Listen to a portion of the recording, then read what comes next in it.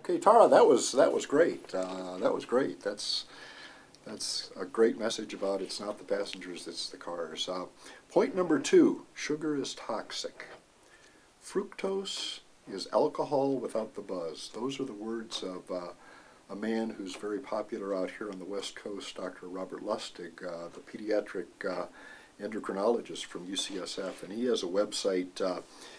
Uh, the bitter truth that we recommend our patients look at, uh, especially especially if the if the if the family has a child that's overweight. Uh, Dr. Lustig's message becomes real important, and I know this is uh, an area you're interested in. So um, he talks about it's it's the choice. It's beer belly or sugar belly. Uh, sugar and high fructose corn syrup needed to be the first things to go. Both carbs and alcohol drive the triglycerides up. Mm -hmm. What are your thoughts about this point? That's well, it's an excellent point, and it's something that I think is really misunderstood. I mean, when you tell a patient they have a cholesterol problem and you don't specify that there's a triglyceride issue, they sometimes walk away thinking what I need to do is get the fat out of my diet, when really, especially if the triglycerides are the issue, what's the building block for a triglyceride? I mean, it's three fatty acids and a glycerol, a sugar. So obviously, as you consume more sugar, you're going to be driving those triglycerides up. And what does that do? That ultimately ends up leading to the small dense LDL that we were just talking about earlier with the marbles. So clearly, the building block for these triglycerides for this really atherogenic state that ultimately leads to insulin resistance and uh, this whole cascade of events that really um, produces the, the atherogenic state that ultimately leads to heart attack and stroke is, is built in part by the sugar we consume.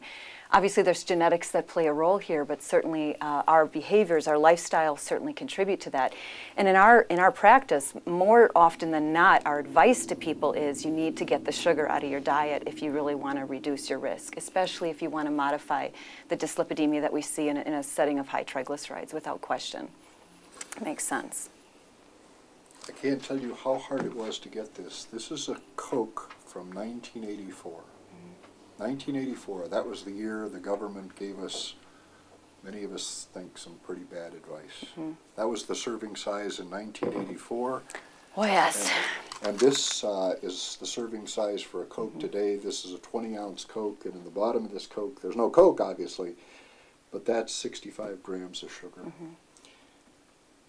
And this is what our children are drinking. Yeah. My first question to parents and to children when I see them, when we're sitting there and trying to have a real conversation about our life, it's what do you drink? I ask kids, what do you drink?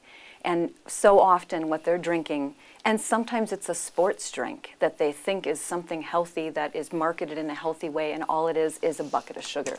And that's what they're consuming. The first thing that we try to do is get people to drink calorie-free beverages if you really want to start to make a difference in their diet, even if they don't eliminate anything else. If they just get the sugar out of the fluids they're drinking, it's key. Because it's true, and this, is, and this isn't even a big gulp.